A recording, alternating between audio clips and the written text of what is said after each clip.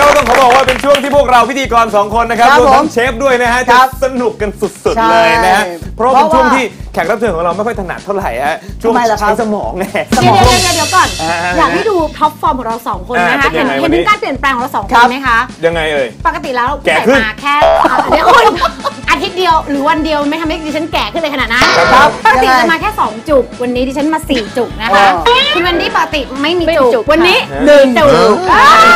รวมมันกัมีนความเป็นหมายไหมไม่มาเลยนะอยากจะรู้ว่าแต่ละจุกนี่มีความหมายว่าอะไรฮะมีความหมายว่าจุกเสียดเออแน่นจุกแน่นท้องเอาเฟ้เป็อนว่าเออไม่ว่าพวกคุณจะปรามาสหรือดูถูกอะไรดิฉันเออก็ตามครับ วันนี้ผมดิฉันจะไม่กระดิกอย่างแน่นอน โอดิฉันเคจะไม่โดนใดๆทั้งสิ้น คอยดูนะคะคุณผู้ชม กติกาเกมกวนซ่าท้าชิมของเราในวันนี้ ให้ผู้เข้าแข่งขันตอบคำถามจากกวนซ่าของเรา 3 ข้อ เพียงผู้เข้าแข่งขันตอบว่า ใช่หรือไม่เท่านั้น และผู้เข้าแข่งขันต้องแย่งกันกดปุ่มสัญญาณ เพื่อที่จะได้ตอบคำถาม เมื่อไฟติดใครที่กดได้ก่อนจะมีโอกาสตอบคำถามในข้อนั้น ถ้าตอบถูกผู้เข้าแข่งขันอีกฝ่ายจะโดนทำโทษโดยอัตโนมัติ แต่ถ้าตอบผิดจะโดนทำโทษซะเอง จะสนุกสนานกันขนาดไหน ไปติดตามชม กวนซ่าท้าชิมของเราได้แล้วครับผมถ้างั้นนะครับครับเพื่อไม่ให้เป็นการเสียเวลานะครับ เราไปสู่คำถามข้อที่หนึ่งกันเลยครับ คำถามข้อที่หนึ่งครับผมค่ะเมื่อรับประทานกระเพาะปลาจะมีประโยชน์ต่อผิวพรรณของเราใช่หรือไม่ ใช่มั่นใจครับตอบขอเชฟไหม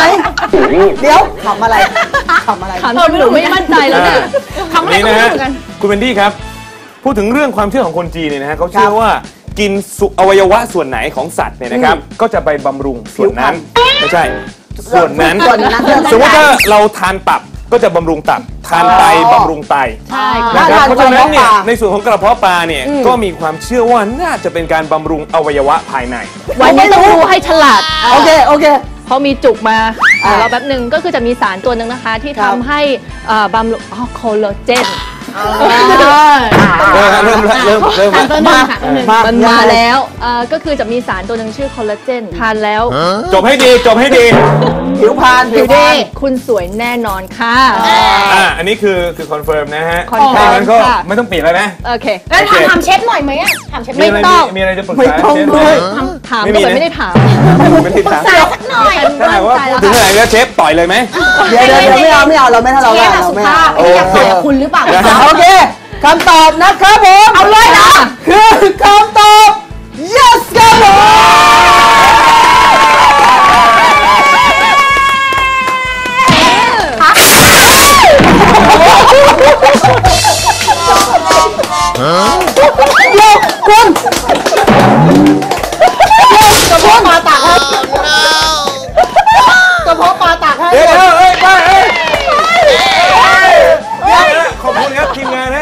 ครับทำงานดีมากเอ้ย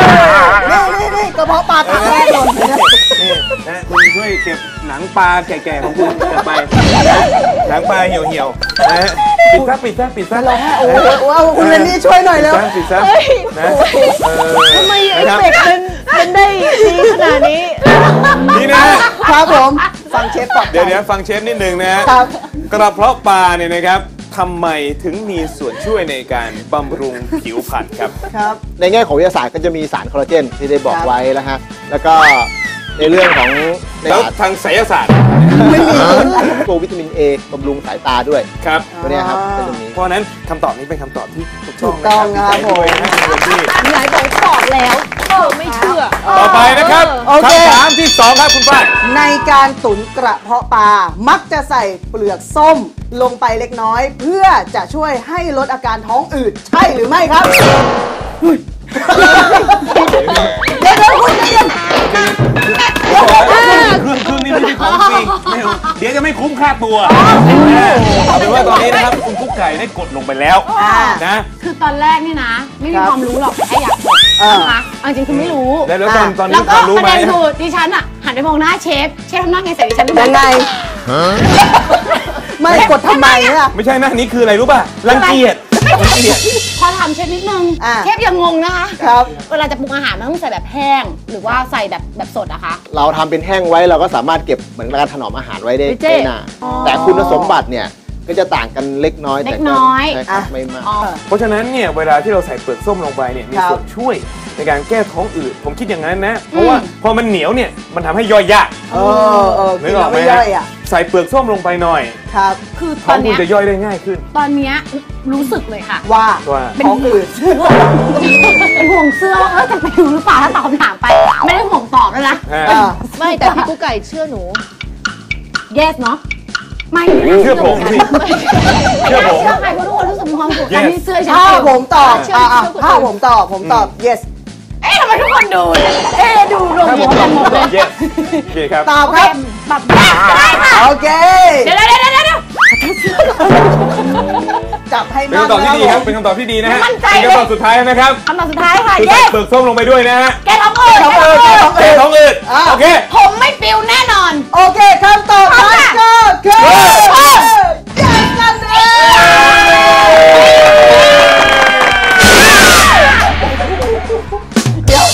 ว่าฉากเราชักชักฉากเลยนะเก่งอย่างนั้นตุ๋นหรือต้มกระเพาะปลาเนี่ยนะครับเราจะใส่เปลือกส้มลงไปครับเพื่อที่จะลดอาการท้องอืดจริงหรือเปล่าครับ คือก่อนอื่นต้องบอกนะครับ วิธีการทำกระเพาะปลาเนี่ยมันเป็นกระเพาะปลาที่แห้งหรือผ่านการทอดมาแล้วใช่ไหมครับครับนั่นก็คือก่อนที่เราจะมาประกอบอาหารเนี่ยเราต้องไปต้มก่อนหนึ่งเพื่อไล่ไขมันสองเพื่อให้กระเพาะปลาเนี่ย ไม่มีความหนืดมากจนเกินไป ฮะ ในอดีตเนี่ยเราใช้เปลือกส้มเพื่อหนึ่งแหละเพื่อลดเรื่องของลดลดไขมันลดคอเลสเตอรอลที่ที่ที่มาจากน้ำมัน แต่ในปัจจุบันแหละเราเริ่มจะมีการใช้ขิงแก่อ่าเริ่มใช้ขิงแก่ทดแทน แต่คุณสมบัติก็ยังคงคงคงเดิมคงเดิมเท่าใช้กัน ขิงแทนเปลือกส้มใช่แต่ครับ คุณสมบัติเดียวกันทางเพื่อนเดียวกันแล้วก็เพิ่มความหอมเข้ามาด้วย ครับ แล้วก็เพิ่มสรรพคุณเรื่องของความดันโลหิตต่างๆ เข้ามาเพิ่มเข้ามาอีก เพราะฉะนั้นเป็นคำตอบที่ถูกต้ต้อองงคนะรับครับผมว้าวเก่งมาก ยินดีด้วยนะครับ เสื้อคุณไม่ปลิวนะฮะโอเคครับทั้างนั้นเราไปสู่คำถามสุดท้ายกันเลยครับ คำถามที่ 3 นะครับผม กระเพาะปลาเป็นเมนูที่ไม่เหมาะสำหรับผู้ที่มีเลือดบกพร่องอะครับ เลือดพร่องเรียกว่าเลือดพร่องนะครับ เช่น สตรีหลังคลอด และผู้สูงอายุที่เลือดไม่บริบูรณ์ ใช่หรือไม่ปุ่มอยู่ตรงนั้น ปุ่มอยู่ตรงนั้นเตียนนะเตียนนะเตียนนะใครเลื่อนปุ่มไม่มีเมื่อกี้ใครเลื่อนปุ่มเลือดเองบอกมาเดี๋ยวนี้เลือดเองอ้าวเลื่อนเองพี่เลือดเองตอนหน้าของแขกรับเชิญที่สติประ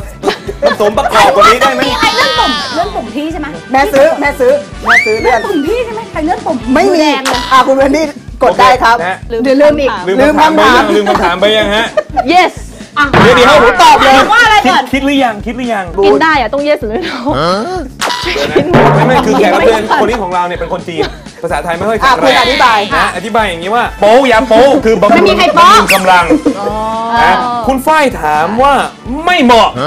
อใช่ไหมสำหรับเมนูที่ไม่สเหมาะตรีที่เพิ่งคลอดครับถูกไหมฮะสตรีหลังคลอดแล้วก็ผู้ที่เหสุดมาะนค่ะเหมาะอืมมันเป็นอะไรที่บำรุงอะเพราะฉะนั้น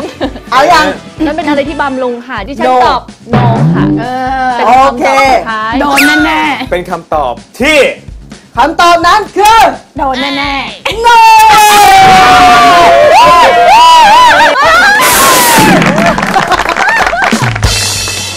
สรุปนะครับเชฟกระเพาะปลาเนี่ยนะครับพวกเรารู้กันอยู่แล้วว่าเป็นยาบำรุงกำลังนะฮะเหมาะที่จะใช้กับคนประเภทไหนบ้างครับ คือจริงๆแล้วก็คือเหมาะกับอ่า สตรีหลังคลอดแล้วก็ฮะผู้สูงอายุที่มีปัญหาเรื่องของอ่า